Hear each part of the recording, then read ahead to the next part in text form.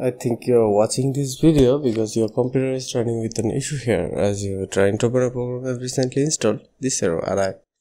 The program can start because convert.dll is missing from your computer. It's a very common issue and all you need to do is watch this video till the end and follow that method on your computer. Hello everyone, welcome to Tech Evolution. In this very short video, I'll be fixing this error within 3 minutes, so start the countdown. The first thing you need to do is open your favorite browser and search for the entire file name .dll. You can choose any results you want. I'm choosing the first one. This is not sponsored but I'll put the link in the description. There you can see few download options based on the architecture and version. To know your architecture and version, click on start and search for system information.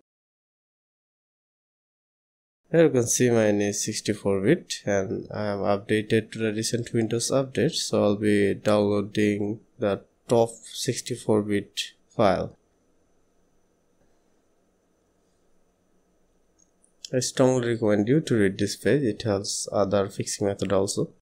As the download complete, hit open. Here you can see two files, one is the DLL, other one is readme. To move the DLL, open this PC, local disk C, Windows, and find a folder named System32. This is the home of 32-bit DLLs. Now click on the downloaded zip, drag the DLL, and drop. I've already done this, so they are asking me to replace.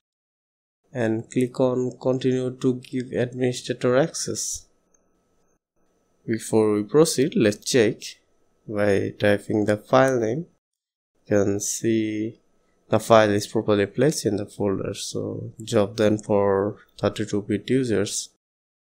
You can go and restart your computer.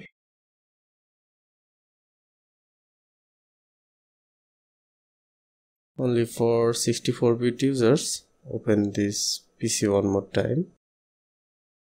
Local C windows and this time find a folder named syswow64 this is the home of 64-bit DLLs files. Now click on the zip file and same again.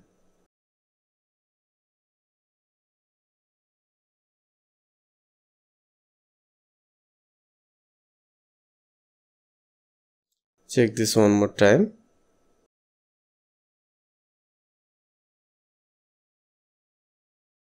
yeah now the file is properly placed in 64 bit folder 2 so job is done. You can go and restart your computer.